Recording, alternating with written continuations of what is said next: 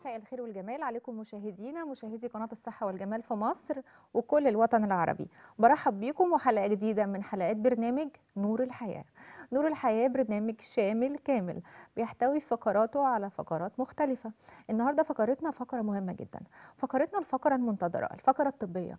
النهاردة هنتكلم في موضوع مهم شائع وشائك. هو أورام المخ والأعصاب وأمراض العمود الفقري بصفة عامة وهنتكلم فيه النهاردة مع قيمة وقامة علمية كبيرة الحقيقة. وشرفنا سلسلة حلقات سابقة وإن شاء الله النهاردة سنكمل ما بدأناه معه الحلقة السابقة.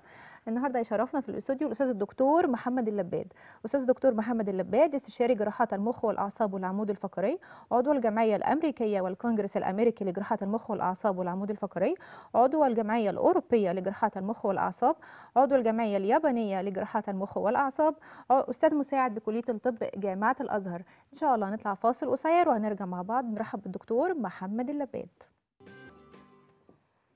ورجعنا لكم مرة تانية.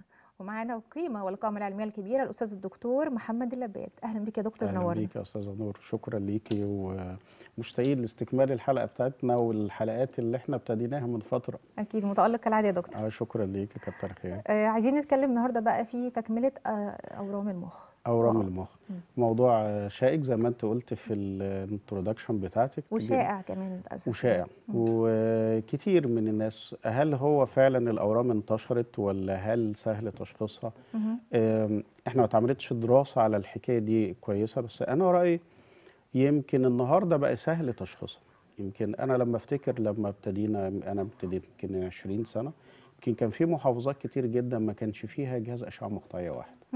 النهارده أقل محافظة فيها أكتر من خمس ست أشعة مقطعية على 3 4 رنين مغناطيسي. فبقى إن إحنا نطلب فحوصات النهارده يوم ما نشك في أي حاجة. بقى حاجة سهله جدا تمام أنا رأيي إن ده. بقى سهل التشخيص. وسهل تشخيص كتير من الأورام المبكرة.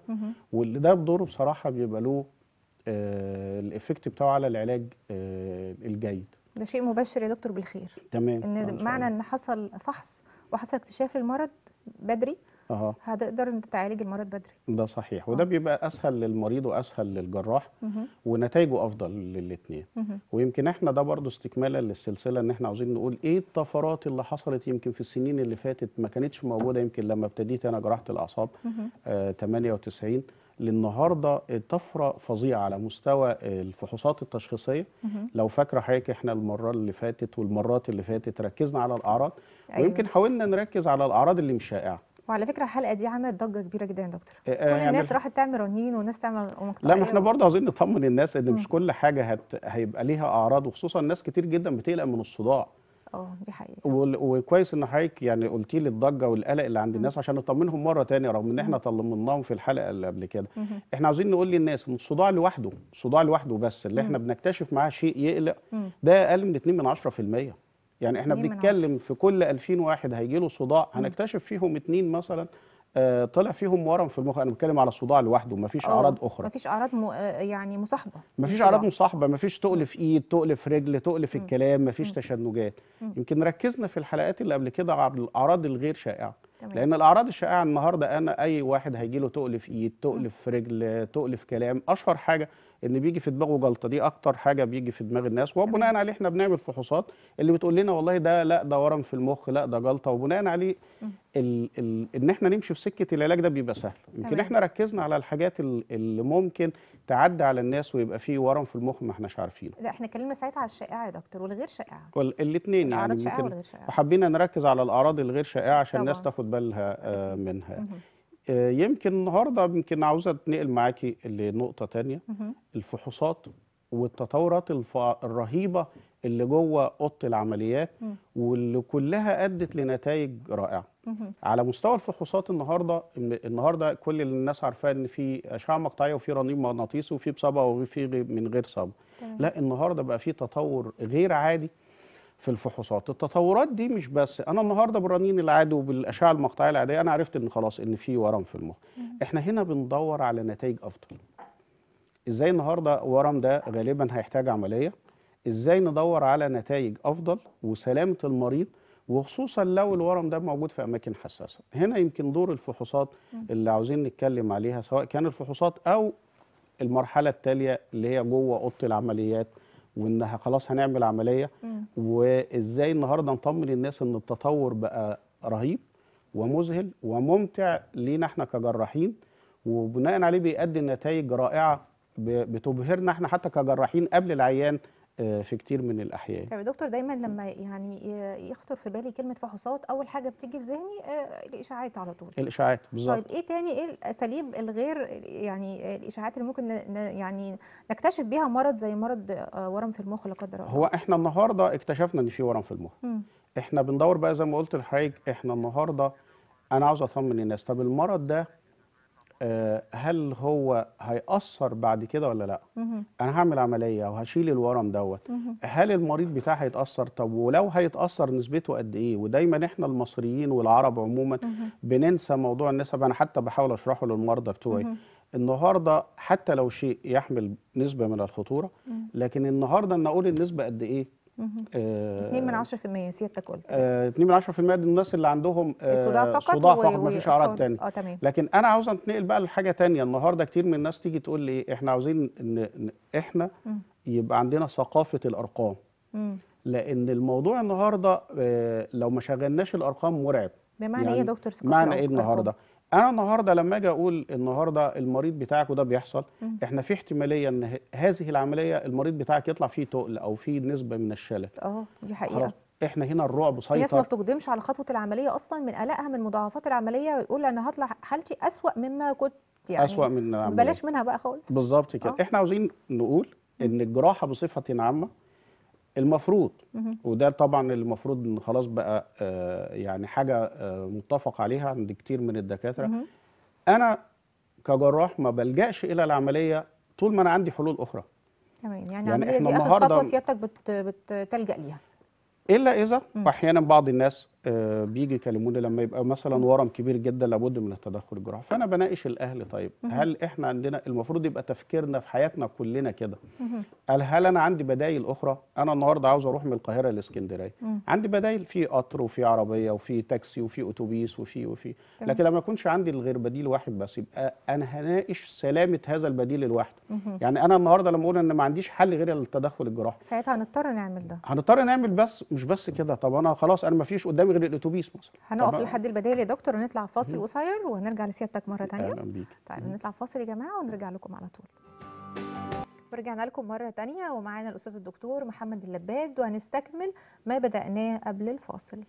اتفضل يا دكتور. أهلا بيك. أهلا بحضرتك. آه فإحنا النهارده خلاص إحنا اكتشفنا قلنا الأعراض. كنا بنتكلم عن البدايل. آه بالظبط. آه، البدايل الخاصة النهارده. بالكشف المبكر عن الأورام. إحنا خلاص إحنا قلنا في الحلقات اللي قبل كده أعراض ال- الأورام والاعراض الشائعة وغير الشائعة. اكتشفنا إن في ورم. إحنا بقى بنخطط لتدخل جراحي. كيف يكون إجراء الجراحة أكثر امانا؟ تمام أكثر امانا مم. وإحنا هنقول أكثر امانا لأن النهارده محدش في العالم كله يقدر يقول إن في أمان بنسبة 100% يعني ربنا بس سبحانه وتعالى مم. اللي بيضمن الأمان بنسبة 100% في أعتى ال- التقنيات والتكنولوجيات محدش يقدر يقول. إن في نسبه لكن إحنا بندور على أكثر امانا كل ما نكون أكثر أمان. ده بناء إن أنا داخل شبه معركة أنا. بخطط لها كويس. بجهز لها كويس بشوف اسلحتي اللي أنا هحارب بيها إيه وكل ورم وكل مكان وكل نوع له أجهزته. وله استعداداته ودي حاجات معروفة ما بين الأطباء إن حتى مش عاوز أقول لك إن صينيه الآلات كل نوع له صينيه الآلات ال- ال- المخصوصة بيه طب عايزين نعرف يا دكتور إيه الفرق بين الانواع المختلفه الاشاعات أو التشخيصات اللي حضرتك بتقول عليها ان إحنا نعرف هل كل آه، آه، نوع من انواع التشخيص بيحدد حاجة معينة ولا هو خلاص يعني ساعدنا أنا النهارده زي ما؟ قلنا يا أستاذة نور إحنا خلاص عرفنا إن في ورم من مهم. المخ أنا عاوز أطمن على إيه مم. أنا عاوز أطمن على أي شيء قد يعرض حياة هذا المريض مش بس حياته مم.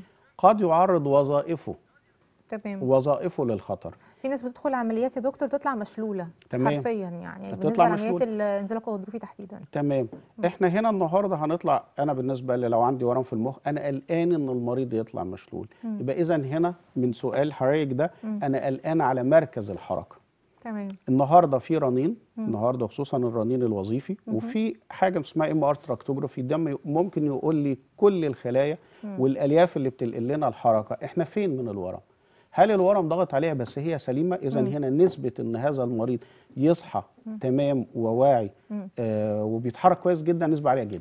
ده شيء أنا. هنا مطمن بالظبط. مم. ولا هل الورم ده داخل متغلغل جوه هذه الخلايا؟ ايفن حتى نرجع بقى للأرقام اللي كنا بنتكلم فيها من شوية. متغلغل بنسبة قد إيه؟ هل متغلغل في كل الخلايا ولا متغلغل في خلايا قليلة؟ ممكن يبقى متغلغل في 10% من الخلايا. في 20% من الخلايا. يبقى هنا عاوزين ننمي ثقافة الأرقام حتى عند الناس. النهارده أنا مريض قلقان يطلع كلامه تقيل ما بيتكلمش كويس. إحنا هنا عندنا حاجة اسمها الرنين الوظيفي fMRI بيختصروه الدكاترة اف ام ار اي فانكشنال ام ار اي ده عشان ده بيقول لكل الوظائف وظيفة. الحيوية للمريض هتبقى سليمة بعد العملية ولا لأ؟ أو كل- هو بالظبط كده. لو ورم داخل في أي مكان بالظبط. تمام. يعني هضرب لك مثال. إحنا كان عندنا شاب شاب صغير جدا لذيذ في كلية الهندسة مم. آه التكنولوجيا آه high intelligent مهم. إحنا خايفين إن الشاب ده الورم جنب مركز الكلام ومركز الحركة بتاع الإيد ده شيء خطير جدا ده شيء خطير جدا بالظبط. إحنا إيه اللي بنتكلم؟ على مهندس دي شغلته آه. لما عملنا له functional MRI. إحنا اكتشفنا إن هو محظوظ ودي برضو فيها بعض ال- النظريات. آه لا فيها بعض النظريات. إحنا عندنا مركزين كلام عند هذا الشاب واحد شمال وواحد يمين. اذا أنا هنا مطمن بنسبة عالية جدا. الشاب ده كان بقاله أربع سنين خايف يعمل العملية. تخيل قد إيه بقى يعني النهارده هذا الرنين وهذا النوع من الرنين. ساعدني إن أنا أتنبأ إن هذا الشاب إن شاء الله هيقوم. مفيش اعتلال في وظيفة الكلام بتاعته. دي أهم حاجة. ومش بس كده والحركة بتاع الإيد اليمين اكتشفنا زي ما كنا بنقول من شوية مم. إن ال- ال fibers أو الألياف المسؤولة عن الحركة مم. لا هي مضغوطة مزقوقة بالورم ده بال. حضرتك. لكن مش متغلغل متغلغل الورم فيها. مش متغلغل تمام فيها أنا فهمت كده الموضوع وتم استئصاله. بالكامل الحمد لله وشاب بقى زي الفل الحمد الحمد, لله. لله. ودي ليها برضو حاجات تانية مكملة جوه العملية بس إحنا مم. مش عاوزين نتخطى حاليا مرحلة ال- الفحوصات. ال investigations اللي إحنا بنطلبها مم. قبل ما ادخل المعركة اللي هي بتاعة العملية نفسها لا. ده أنا بجهز نفسي التخطيط للمعركة مهم. قبل المعركة واخدة بال حضرتك؟ طيب بقية أنواع الفحوصات يا دكتور؟ إحنا كله النهارده التطورات بقت رهيبة بالنسبة للرنين بقى عندنا أنواع من الرنين يمكن السادة المشاهدين كل اللي يعرفوه رنين ده عادي رنين بالصبغة لكن ما يعرفوش إن في أنواع تانية من الرنين. إحنا قلنا يمكن اتنين منهم واخد بال حضرتك. النهارده في حاجة اسمها ال MRA. ال MRA ده رنين على شرايين المخ. مم. أنا النهارده أحيانا بيبقى المشكلة مش مركز الحركة مركز الكلام. في شريان مهم جدا. ممكن لو هذا الشريان تم إصابته جوه العملية. واخد بال حضرتك المريض ده في بعض الأحيان ممكن توصل للوفاة. يعني زي الشريان الأبهر ده أكبر شريان في المخ. ده لو تعور المريض ممكن آه، تؤدي إلى هي دي الوفاة. الحالات المرعبة اللي بتخلي المرضى يخافوا من إجراء العملية دي. المرعبة. ويمكن إحنا حظنا أو حظ أنا يمكن أكتر الحالات اللي بشوفها من الحالات المرعبة دي. يمكن قليل لما بشوف الأورام البسيطة يعني. ربنا يديك الصحة. يا دكتور اسم يمكن- حضرتك مش من قليل آه كتر يعني. خيرك. ويمكن أنا فخور إن أنا بشتغل مش لوحدي معايا فريق من الاستشاريين. زملاء وأصدقاء بعتز بيهم وفخور إن أنا بشتغل معاهم. إن شاء الله نيجي حلقة كلنا معاك إن شاء الله. بإذن الله. فخور إن بيبقى team وال teamwork ده من الحاجات اللي إحنا عاوزين ننميها في مصر. إن الناس تشتغل كفريق. مع بعض. قليل جدا يا دكتور اللي بينسب نجاحه لل teamwork اللي معاه. يعني يعني دايما الناس بتحب تتفرد بالنجاح لكن النهارده أنا عندي اتنين عينين واتنين إيدين. لما يبقى معايا اتنين من الزملاء استشاريين إحنا بقينا ست عينين ست إيدين ست ثلاثة مخ بيفكروا مع بعض. آه، بالتأكيد النتيجة استحالة. حتى في ال decision making واتخاذ القرار استحالة. مهما كنت أنا شاطر ومهما كنت أكيد. كويس. الحكاية دي اتعلمتها بصراحة في اليابان. كنت في اليابان 2013 ولقيت أستاذ كبير جدا ورئيس القسم بيساعد أستاذ يمكن داخل على الستين. يا, يا رب. طب إحنا ما بنعملش كده ليه في مصر؟ اتنين بيشتغلوا عملية واحدة. وكل واحد منهم أستاذ تقيل وأستاذ له وزن ومعروف في اليابان كلها. طب مهم. إحنا ليه ما يبقاش عندنا هذا ال team work. وبصراحة هذه الفكرة بدأت من من ساعتها. هو concept حلو جدا يا دكتور. عامة آه، القرار ال ال ال يعني الوحيد خطأ وإن كان صوابا يعني دايما. آه ده صحيح. فربنا يديك الصحة ده وإن صحيح. شاء الله تنشر الفكر ده. إن شاء الله. تمام. نيجي بقى لل- ال- لرنين على شرايين المخ. أنا عاوز أطمن بقى هل الشريان واخد بال حضرتك جوه الورم مم. وهل هو مضغوط جوه الورم ولا جنب الورم؟ تفرق كتير جدا مم. بالمناسبة. في إيه بقى يا دكتور؟ تفرق كتير جدا في الأسلحة اللي أنا آه هحتاجها معايا آه جوه العملية. حضرتك بتتعامل مع عملية إن هي حرب. آه طبعا. ز- آه، يعني ذات بتحارب ستون. الورم كأنه آه، عدو فعلا. ده هي كده هي فعلا كده هي فعلا حرب. النهارده أنا لما أحتاج حرب النهارده لأن لازم أبقى عارف اللي أنا هواجهه. ده فرد ولا فرد مسلح ولا دي دبابة ولا وكل واحدة من دول ليها المضاد بتاعها أكيد لأن النهارده أنا لو ما تسلحتش قبل ال- المعركة. بالسلاح المناسب أنا خسرت المعركة من قبل ما تبدأ. قد أكون أنا شاطر جدا وأنا مقاتل عنيف لكن ما معيش السلاح المناسب. دي أهمية الكلام اللي إحنا بنقوله ده يا أستاذة نور إن. أنا قد أكون أنا مقاتل مقاتل شاطر ومقاتل كويس جدا بس ما معيش السلاح. أو ممكن أبقى سواق كويس جدا بس ما معيش العربية المناسبة. لازم أختار. النوع المناسب اللي أنا هدخل بيه السباق العربيات دوت. النهارده دي تفرق كتير جدا وده ليها دوره اللي كل نوع من دول طب أنا هاخد بقى السلاح إيه هنا هحتاج أنهي نوع من آه ال ultrasound جوه أوضة العمليات مم. أنهي probe حتى في ال ultrasound هحتاجه اللي بيقول لي حتى وأنا شغال ألو... الشريان ده فين أنا. جنب الشريان لا ده أنا بعيد عنه أنا أقدر أشيل الورم آه كويس دي بتفرق معاه. لكن قبل ما ده بقى أنواع مختلفة من الرنين اللي حضرتك ذكرتها. آه تمام. ده اسمه رنين على شرايين المخ. نفس. الحكاية لو أوردة. في. رنين مخصوص على أوردة المخ. شيء هايل. آه وأحيانا طبعا بندمج الاثنين ببعض. النهارده بقى في حتى آه، بقت حاجة جميلة جدا. بقى في أشعة. آه، ونوع من أنواع الأشعة المقطعية إن حتى الشكل الجمالي مم. آه آه، فرق معايا مادة علمية دسمة وجميلة جدا. ومع ذلك نفس الوقت شكل جمالي. بيطلع لي الورم بلون.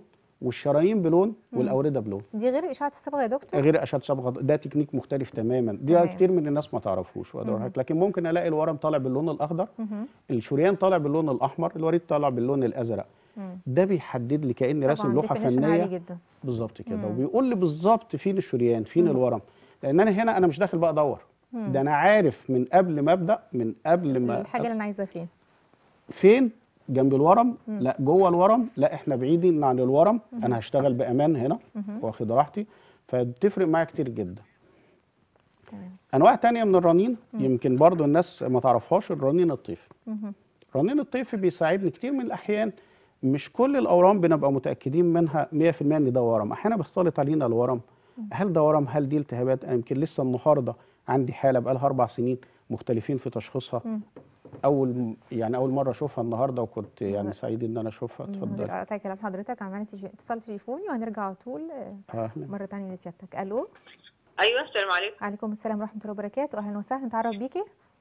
آه مدام دلال. أهلا وسهلا. اتفضلي. دكتور محمد مع أهلا حضرتك. أهلا- أهلا بحضرتك طيب ماشي. كنت عاوز أسأل الدكتور آه أنا إيديا بت... بقوم من النوم بتشكشكني واحيانا يعني بحس إن هي منملة واحيانا برضو حتى وأنا بصلي لو رفعت إيدي شوية بلاقي برضو صوابع ايديا بتشكشك. آه ما تبطلش الا لو آه، نزلت ايديا جنبيه هي أ- اعمل إيه يعني؟ إيه أول خطوة أعملها إيه؟ حضرتك عندك سكر ولا حاجة؟ لا لا ولا سكر ولا ضغط. طيب الحمد لله ربنا يديك الصحة. بتزيد يعني ممكن تصحيكي من النوم بالليل يا مدام دلال؟ لا مش بتصحيني. أنا لما بصحى من النوم الصبح بدري بلاقيهم منملين تلاقيها الاتنين، منمله. لو لو مسكنا التليفون اتكلمنا المكالمة طولت شوية تنمل؟ أيوه دي إيه؟ أيوه أيدي بتنمل فعلا. طيب حاضر هجاوب حضرتك. طب حاضر. شكرا. مهم. لاتصالك دكتور محمد هيجاوب على حضرتك.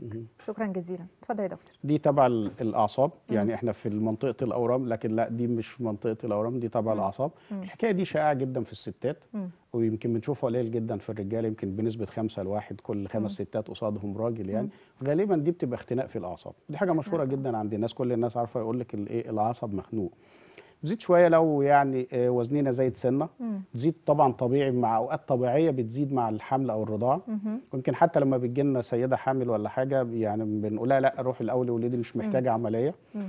نسبة كبيرة جدا منهم بيتحسنوا بالعلاج يمكن تصل ل 70% لو ما اتحسناش بالعلاج بنعمل لها عملية تسليك بسيطة بتبقى في الإيد. اللي هي الأعصاب بتاع الإيد دي توسط أعصاب الأعصاب. الإيد، بالظبط. دي دي يعني إيه أسبابها؟ آم، هي ليها أسباب كتير من ضمنها نقص الفيتامينات من ضمنها زيادة الوزن. من مم. ضمنها لخبطة بعض الهرمونات عشان كده يمكن بنشوفها في الستات أكتر من الرجالة نادر لما بنشوفها في الرجالة مم. عادة لما بنشوفها في الرجالة بنشوفها مع الناس اللي بيستخدمهم إيديهم كتير الناس اللي مم. بتستخدم الدريل في الأرض الأسفلت الناس اللي عندهم أعمال يدوية ال- ال computer typers مم. دول يعني آه، عشان بيضغطوا على. إيديهم على. إيديهم كتير اللي آه. بيبقى فيه حركة عند الرسغ آه. كتيرة بن- أكتر تمام وعادة إحنا بن طبعا بنشخصها إكلينيكيا مهم. بالكشف طبعا. وفي بعض ال clinical tests اللي إحنا بنعملها. وبيساعدنا في التشخيص إن إحنا نعمل رسم عصب آه، على العصب اللي إحنا شاكين فيه نمشي بالعلاج لو ما تحسناش بنعمل عملية وغالبا بتبقى عملية بسيطة يعني. يعني 10 دقائق كده لكن ملهاش سبب. واضح آه لا هي كل الأسباب اللي إحنا قلناها بتفرق من معيان للتاني. في واحد بيبقى فيه أكتر من سبب. لكن سبب هو يقول هو السبب لا بيبقى multifactorial يعني يا رب تكوني سمعتي الإجابة يا أستاذة. دلال. طيب نرجع يا دكتور لأنواع الرنين. تمام. إحنا قلنا يعني في بعض يمكن كنت بقول لحضرتك قبل الاتصال إن كان في حالة إحنا بقى لها أربع سنين مختلف فيها. مم. هل ده ورم هل دي التهابات هل ده تصلب متناثر. بعض حالات النادره من التصلب المتناثر مم. يمكن لحد كبير بيجي دور حاجة قبل ما ناخد ما نفتح وقبل ما نعمل عملية مهم. إحنا الأول عاوزين نعرف إيه اللي قدامنا ده يمكن بيجي دور حاجة زي الرنين الطيفي مم. الرنين الطيفي بيساعدنا بنسبة كبيرة آه إنه يقول لنا هل دي التهابات أو هل ده ورم في بعض الأحيان حتى بيقول لنا الورم ده هل ده ورم حميد أو لو ورم خبيث وممكن يقول لنا حتى درجات الورم الخبيث مم. وده بيساعدنا بكتير جدا إنه يقول لنا آه، في كتير من الأحيان إن لأ دي التهابات إحنا مش هنعمل عملية ده مجرد أدوية مجرد علاج وبيجنبنا إن إحنا نتدخل جراحيا في بعض الحالات اللي إحنا مشتبه علينا فيها. يعني ممكن الرنين العادي يا دكتور يبين الحالة مشتبه بيها إن مشتبه فيها, فيها. آه، ورم آه ده ولكن صحيح الرنين الطيفي ده هو اللي بيحدد آه ممكن نقول ده التهابات آه بنقول التهابات وإحنا هنا كمبدئيا بنبدأ نقول والله آه لا دي التهابات يبقى هناخد أدوية ونتابع وممكن نعيد له الرنين بعدها بفترة لو التهابات بالله اتحسنت جدا وتقريبا اختفت. لو لا قدر الله ورم بيكون الوضع اختلف تماما. في صورة الرنين يعني. تمام طيب بالنسبة للجديد في أورام المخ تمام آه، إحنا المرة اللي فاتت اتكلمنا في جزء كده ما عن الناس الكبار. وقلنا عايزين نتكلم في الأطفال شوية تمام.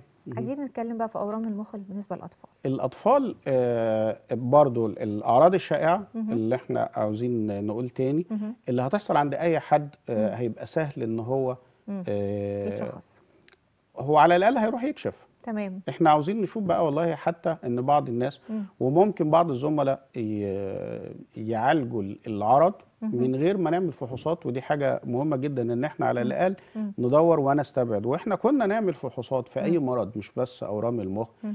آه وحتى كتير من المرضى بيقلقوا لما أطلب له مثلا يعني أشعة مم.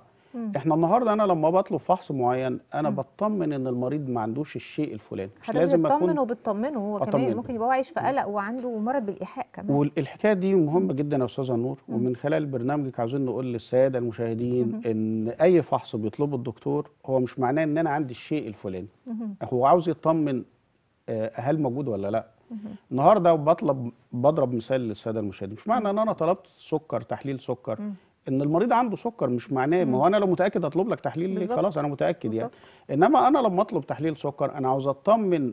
إن انت ما عندكش سكر تمام وأكيد الوقاية خير من العلاج الخير- يعني بالظبط كده. بس أنا أحيانا يعني لما بطلب أشعة مش معناه إن أنت عندك شيء معين لكن أنا عاوز أطمن إن أنت ما عندكش حاجة خطيرة تستدعي تدخل بدري تستدعي تدخل سريع لأن أنا بلاحظ في كتير من الأحيان إن أنا مجرد ما أطلب الفحص خلاص الوشوش اتغيرت. مم. التعبيرات اختلفت مم. آه بقى في آه تعبيرات آه خايفة مخضوضة لا إحنا ما بنقدرش نعرف أي حاجة لحد ما يجي وأحيان كتير بطلب الفحص عشان اطمن.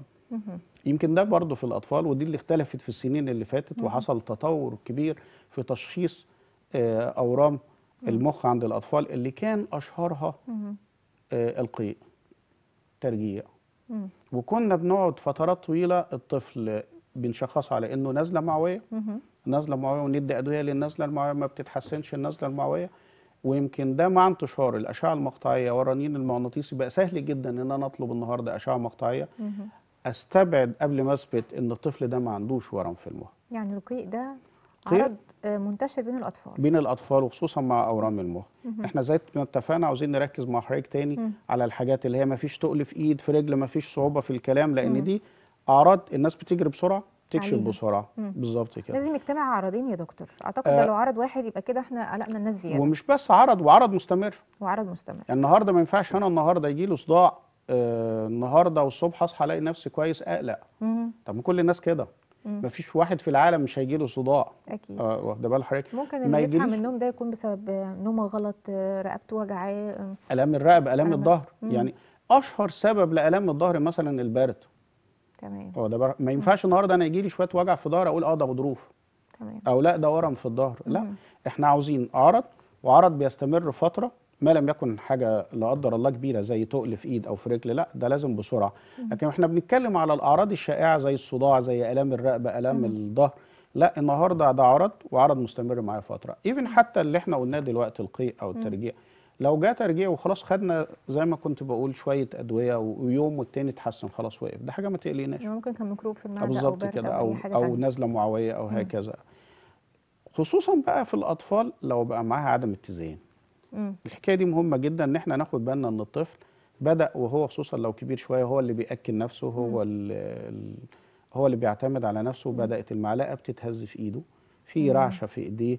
بقى في عدم اتزان في المشيه بحس إن هو مشيته مم. آه، مش متزنة بيحدف في المشي. بيحدف على ناحية مم. الحكاية دي لأ يعني قيء مع دول. آه النهارده بقى في آه علامة مهم. في الأطفال الأصغر لما يكون الراس بتكبر الراس بتكبر في في ال babies مم. وبعض الناس تستغرب هل ال babies آه لأ ال babies ممكن يبقى عندهم أورام إحنا بنشوف أورام لأطفال لسه مولودين يعني ممكن يتولد بيه. ممكن يتولد بيه مم. لأن في بعض الأورام برضه إحنا مش عاوزين لأن السادة المشاهدين. بيقلقوا بسرعة. دي دي حاجة نسبتها قليلة جدا تكاد تكون نادرة.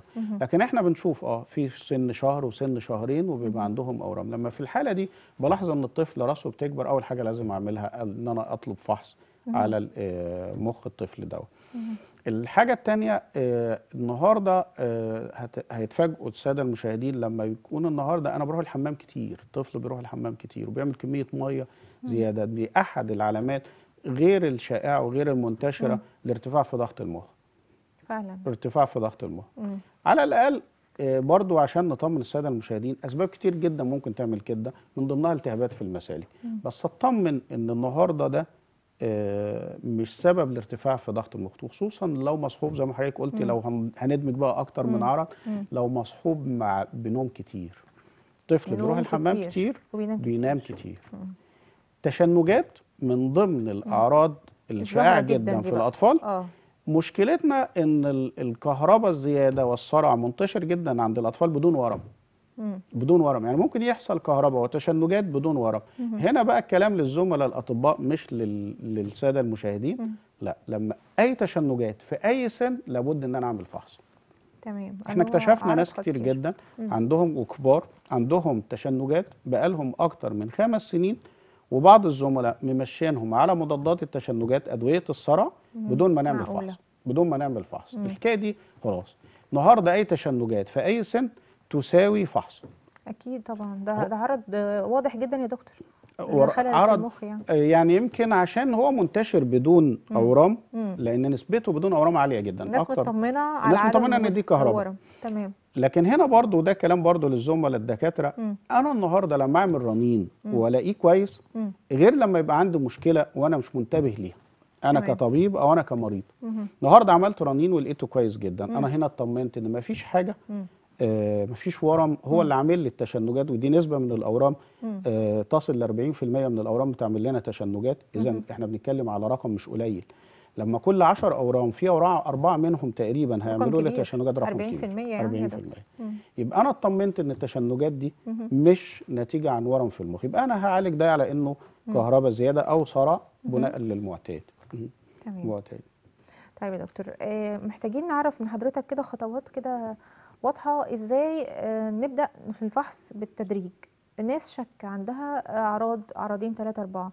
نروح للدكتور على طول ولا نروح نعمل الأول رنين وبعد كده نقرر لا إحنا لا بنفسنا طبعا. يعني نروح أنا ما حبسش خالص إن حد. يطلب فحص بنفسه. مش عشان حاجة لأن الفحص بيختلف. يعني ياما مثلا جالي مرضى آه سواء كان في المخ أو العمود الفقري واخدة بال حضرتك. هم already عاملين زي ما حضرتك قلت كده اختصارا للوقت وعشان ما نتعبكش يا دكتور واخد بالك؟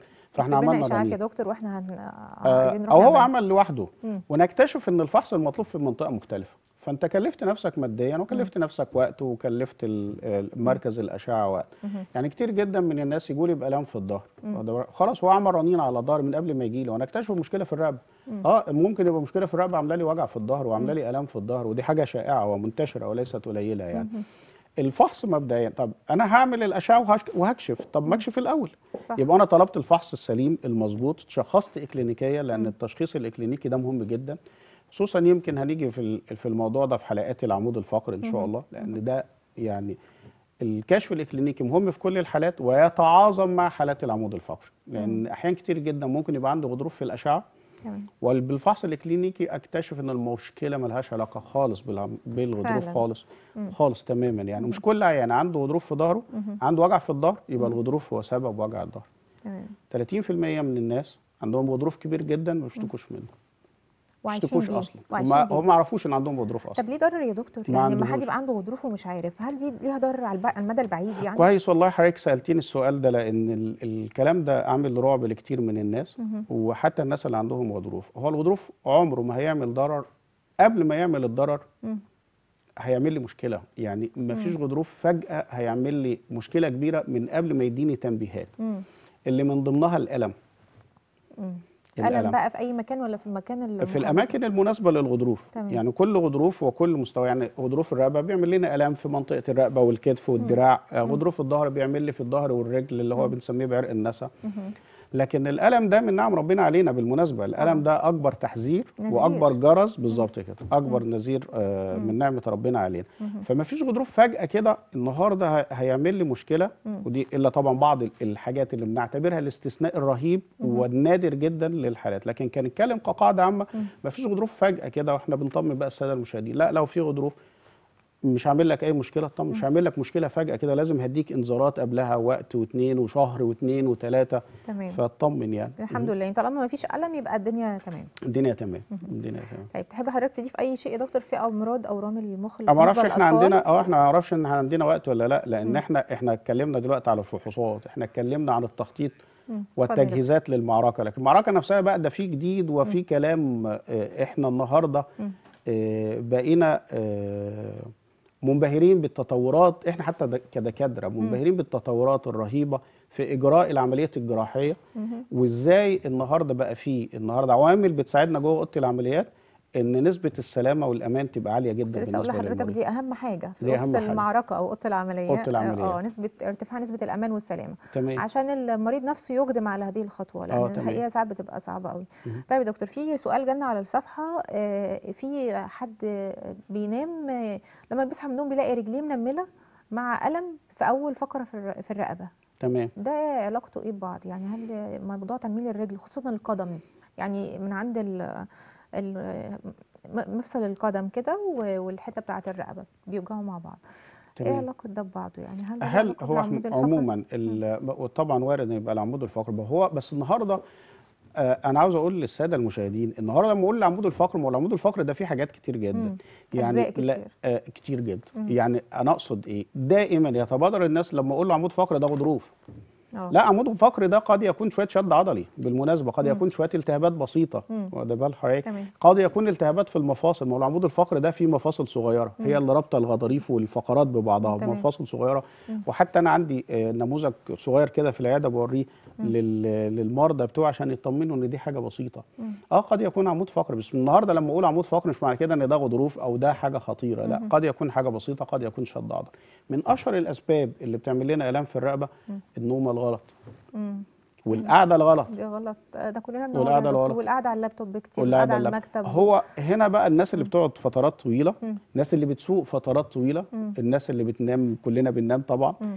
إحنا محتاجين المخدة تبقى مريحة مم. تبقى في ارتفاع الكتف لا تبقى عالية ولا تبقى واطية في ارتفاع الكتف في ارتفاع الكتف بحيث إن أنا لما أبقى نايم على جنبي يبقى أنا رقبتي مظبوطة زي التشريح الرباني اللي ربنا خلقه ما تبقاش بتحب ترفع المخدة يا دكتور بشكل غريب آه تتعبها طبعا بيتعب. أنا أرفع المخدة آه إن شاء الله المرة الجاية نبقى نجيب لحضرتك مجسم. للعمود الفقري مهم. أنا أرفع المخدة أو أنزل المخدة معناها إن العمود الفقري عندي متن شوية مم. متن شوية معناها إن في الأعصاب يا اللي تحت يا اللي فوق سواء كان رفعت أو. نزلتها مضغوطة أكيد مضغوطة. مضغوطة النهارده آه، مضغوطة ساعة غير مضغوطة ساعتين غير مضغوطة بقى دي عادة حياة أسلوب. حياة إن أنا كل يوم بنام كده ده مضغوطة سنين الآخر بقى يقولوا نقوم تعبانين من النوم ليه آه بيقوم نقوم تعبانين من النوم ليه. التيارات الهواء الشديدة بتتعب خصوصا في الصيف التكييفات لو عالية ما. تحبش إن الريش تبقى موجهة مباشرة علينا. أنا يمكن بقول الحاجات الشائعة قبل المرضية مهم. الحاجات اللي هي الطبيعية قبل. ما يبقى فيه غضروف وقبل ما يبقى فيه آه، كسر فقرات قبل ما يبقى فيه آه، حاجة خطيرة. لا ده في حاجات شائعة جدا. ممكن تعمل لنا آلام وإحنا ممكن بتجنب الحاجات البسيطة دي طبعا اللي زي من ما قلت لحضرتك إن الوقاية خير من العلاج. خير من العلاج معانا نعم. اتصال تليفوني أستاذ محمود ألو؟ السلام عليكم. عليكم السلام ورحمة الله وبركاته. أهلا وسهلا. أكلم الأستاذ محمد الدكتور محمد لو سمحتي أستاذ دكتور محمد اللباد مع حضرتك وسامعك. اتفضل. دكتور محمد السلام عليكم. عليكم السلام ورحمة الله. دكتور محمد أنا مش هيقوم بجوار العملية اللي عملتها الإدارة لينا. كان ليها اورام في العمود الفقري في ال- في النخاع الشوكي. تمام. وأنا عندي غضروف في الرابعة والخامسة. تمام. في سألت اتنين دكاترة فقالوا لي عملية وأنا مش عايز أعمل عملية. تمام. نقول لحضرتك. ماشي أجاوبك على سؤالك حاضر. شكرا جزيلا أستاذ محمود. الرجل الشمال يعني شكرا. بتكمل لما اقف تمام حاضر. تمام. خلاص دكتور محمد سمع حضرتك وهيجاوب عليك. شكرا جزيلا. تمام. اتفضل يا دكتور. شاكر ليك. آه، طبعا شكلك بتسألنا بعد عملية جارتك اللي كان عندها ورم على الحبل الشوكي. آه، مبدئيا أنا أحب طبعا أشوفه مش هو بس يعني هو وأي مريض. النهارده غضروف ما بين الرابعة والخامسة. وده كويس يعني أنا سعيد جدا بالاتصال ده عشان نقول للناس إن ما في الغضروف ما بين الرابعة والخامسة. كل غضروف له شكل له حجم له مكان له بروز مختلف. يبقى إذا النهارده ما فيش غضروف ثابت ما فيش غضروف واحد. أنا غضروف عندي غير غضروف عند جاري غير غضروف هنا. طيب مبدئيا طبعا لأن هو شكله قلقان ومرعوب من العمليات مبدئيا يعني نتيجة كنا بنتكلم على الحالة دي يا. دكتور. لا، إحنا النهاردة- كتير قوي من الناس بيخافوا يجروا عملية زي دي بصراحة. إحنا يمكن يا أستاذة نور ركزنا الأول على أورام المخ وإحنا النهارده بنصعب الموضوع آه، يعني حتى التقنيات اللي إحنا بنتكلم عليها دي في أورام المخ الصعبة لأن. أورام المخ برضه مش كلها صعبة في أورام يعني عملياتها بسيطة. سهلة وبسيطة وفي أورام على جذع المخ أورام في قاع الجمجمة. إن شاء الله نفصلها في الحلقات اللي جاية. ويمكن أنا حبيت أبتدي باورام المخ لأن أنا عندي ظن بس واضح إن لأ الموضوع كده إن النهارده الناس بدأت تقتنع إن عمليات الغضروف سواء كان في الرقبه والظهر بقت عمليات بسيطة. والدنيا اتطورت فيها وبقت آه، سهلة جدا. النهارده كنا بنعمل جرح قد كده لما ابتديت سنة 98 النهارده بقى الجرح النهارده بيتكلم على سنتي النهارده. بقى. ممكن نعملها بالمنظار بنعملها بالتدخل المحدود. المريض بيقوم من البنج يتمشى. بدون. مبالغة. مم. لكن ده مش معنى كده برضو إن أنا أدفع بدفع المتصل إن هو يعمل عملية. تمام. هيتفاجئ لما يعرف إن 80% من حالات الانزلاق الغضروفي بتتحسن بالعلاج. أو بالعلاج. التحفظي مش بس الأدوية. مم. أدوية وتعليمات الراحة ممكن جلسات علاج طبيعي. طب ما تحسناش بالحاجات دي. هل يبقى خلاص نطينا على الجراحة؟ لا في بدائل. النهارده بقى في حاجة اسمها حقن. النهارده إن أنا بحقن حقن نوعي لجذور الأعصاب. في بعض ال- الغضاريف بتجيب آه، نتيجة رائعة يعني. النهارده بقى في حاجة اسمها تردد حراري. النهارده فالعمليه عموما إحنا بنحتاجها من حوالي 10 ل 20% من العيانين. آخر خطوة يا دكتور. 80% من العيانين بالظبط. وأنا هنا بطمن السادة المشاهدين أنا محتاج أعراض. أعراض آه، مرتبطة بالغضروف لأن ممكن ال- العرض يعني ممكن هو بيقول أنا عندي وجع في الظهر ممكن أكتشف إن دي التهابات عشان كده لازم نفحصه. ممكن نكتشف إن دي التهابات في المفاصل زي ما كنا بنتكلم من شوية. يبقى إحنا عاوزين أعراض دي شروط التدخل الجراحي اللي من خلالك بقولها بصوت عالي لكل السادة المشاهدين. من فضلكم. عمليات العمود الفقري لابد من شروط عشان أعمل عملية. أعراض مرتبطة بالغضروف لا تستجيب للعلاج التحفظي. تمام. لازم الثلاثه ونختم مع بهذه النصيحة الثمينه يا دكتور شكرا ليك. آه، حقيقي استمتعنا جدا والحديث معاك كان أكتر من رائع. شكراً شكرا ليك. جزيلا لتعبك ووجودك معانا. شكرا ليك. وبنوجه طبعا المتصل آه، تواصل مع دكتور محمد بقدر المستطاع قدامك العناوين على الشاشة عشان مش كل الناس عندها ال- ال- ال- الضمير ده يا دكتور إن هم يوجهوا لك. آه، المريض الأول للعلاج وفي بدائل وفي حاجات كتير يعني العملية زي ما سيادتك بتقول آخر خطوة. ده بالظبط كده. تمام. آه، شكرا جزيلا لتواجد. حضرتك معانا دكتور محمد اللباد. كان معانا النهارده يا جماعة أستاذ دكتور محمد اللباد استشاري جراحات المخ والأعصاب والعمود الفقري عضو الجمعية الأمريكية والكونجرس الأمريكي لجراحات المخ والأعصاب وعضو الجمعية الأوروبية لجراحات المخ والأعصاب عضو الجمعية اليابانية لجراحات المخ والأعصاب أستاذ مساعد بكلية الطب جامعة الأزهر. شكرا لكم شكرا جزيلا. واستنوني على الصفحة أنا ودكتور محمد. هنطلع لايف نوه عن موعد الإعادة. شكرا لكم وكانت معكم نور العقاد. إلى اللقاء.